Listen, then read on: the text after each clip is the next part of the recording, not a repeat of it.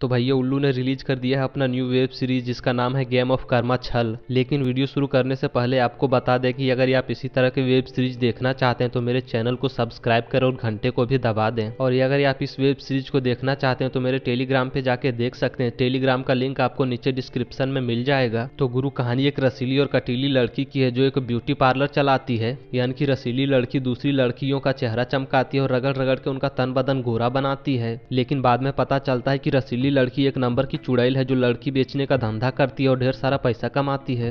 दरअसल रसीली लड़की अपने दुकान पे आने वाली मालदार लड़कियों का डिटेल ले लेती है और बाद में उन्हें किडनैप करके लाखों में बेच देती है। लेकिन वो कहावत है ना कि कर्मा बहुत कुत्ती चीज़ है जो आपका पीछा कभी नहीं छोड़ती है। तो एक दिन रसीली लड़की को भी कोई अनजाना आदमी किडनैप कर लेता और उसे भी लाखों में बेच देता है। रसीली लड़की जब अपनी आँखें खोलती है तो खुद को एक पागलों के आश्रम में पाती है। रसीली लड़की पागलों के आश्रम से निकलने की लाख कोशिश करती है, लेकिन नहीं निकल पाती है। किंतु असली मज़ा तो तब आता है जब पागलों के आश्रम का गुरु रसीली लड़की के साथ सुहाग रात मना लेता और ये साबित कर देता है कि रसीली लड़की पागल है। वैसे मैं गेम ऑफ़ कर्मा का सारा पार्ट देख चुका और सारा का सारा पार्ट बेकार है। तो आप भी गेम ऑफ़ कर्मा के इस पार्ट को ना देखें, क्योंकि इसमें चद्दर में गद्दर मचाने वाले सीन नहीं हैं।